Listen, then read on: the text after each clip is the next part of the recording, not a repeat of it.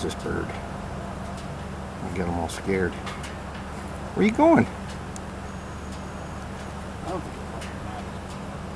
Look at that guy.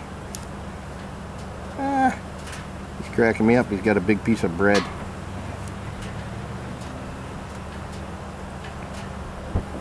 Look at the size of the beak on that guy.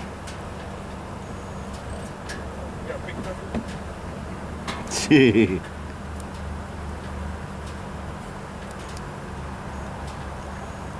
Come on, dude, Potter. Okay, trying to get my wildlife shots in here. So we don't need